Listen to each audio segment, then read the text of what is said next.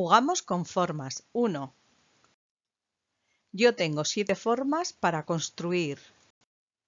Una persona, un león, una oca, un águila, una vela, un pato, una leona, un camello, un triángulo, un velero,